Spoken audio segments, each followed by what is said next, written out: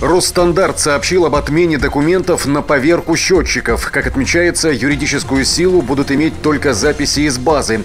В свою очередь, бумажные свидетельства будут предъявлять лишь при запросе владельца прибора учета.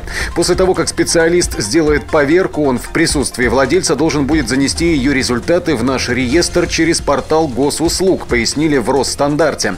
Глава ведомства уверен, что данная мера поможет бороться с мошенниками, которые манипулируют сроками проверок, а также предоставляют предоставляют фиктивные свидетельства. Чусовой вошел в топ-10 курортов страны. Рейтинг представлен по результатам интернет-опроса посетителей сайта Турстат. Аудитория катающихся на сноуборде и увлекающихся сноубордингом в России превышает 3 миллиона человек. В основном это молодежь до 30 лет. В топ-10 также попали курорты Роза Хутор и Красная Поляна в Сочи, Шерегеш в Кемеровской области, Белокуриха в Алтайском крае, Архыз и Домбай в Карачаево-Черкесии, Сыра Карачаны в Подмосковье, Гора Белая в Свердловской области и Свияжские холмы в Татарстане. Правда, вот соседняя Губаха в этот рейтинг не вошла. А теперь новости для тех, кто любит путешествовать с детьми. В Краевом Минстрое рассказали, новый зоопарк должны построить в конце 2021 года. Работы на каждой очереди проводятся в два этапа. Сейчас на Нагорном строят первую очередь зоопарка. Здесь до конца года планируется возвести все объекты, восстановить здания, которые были демонтированы,